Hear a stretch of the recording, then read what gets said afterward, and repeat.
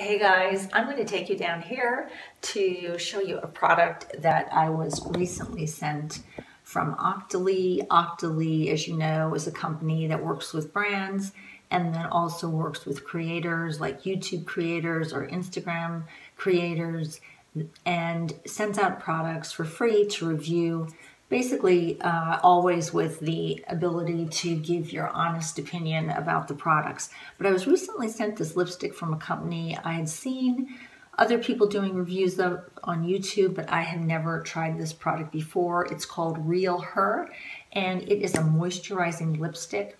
Some of the pluses of this product are that it's cruelty-free, which I always think is great if you can find and it's a natural formula. It's free of any harmful chemicals like parabens and sulfates.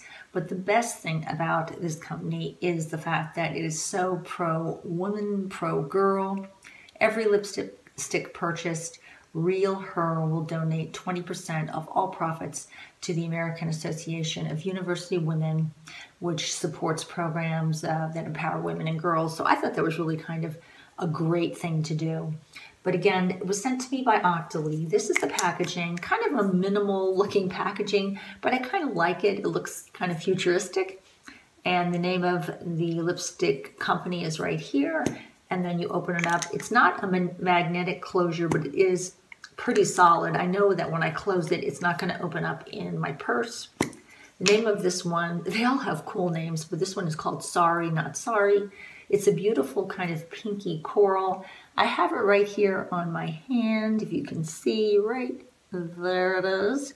But I am going to put it on my lips so you'll be able to see what it looks like in the light. But if I was going to purchase this again, which honestly I will purchase again because I love this so much, I would definitely pick this color because of my skin tone. I just really love it. But I'll show you what this looks like on my lips.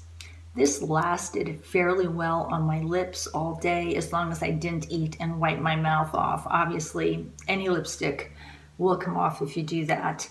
And the other thing I like about this lipstick is that it really stays in place. It doesn't bleed. Once I put it on, it's moisturizing, but not so moisturizing that it starts bleeding in all kind of the fine lines around my mouth. So this was a really a positive I have no negatives about this. I really love this lipstick, honestly. So I'll give you some views of what this looks like in the light so you can get a better idea of the color.